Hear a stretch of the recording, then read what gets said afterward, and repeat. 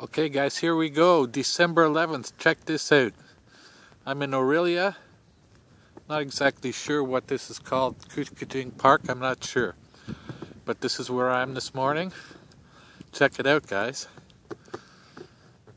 That's ice in the harbor.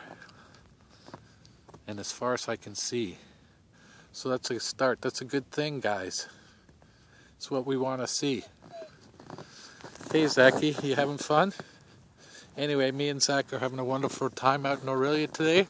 But this is what we get, guys. So I'll keep you informed on a day-to-day basis what's going on. But this is what we get.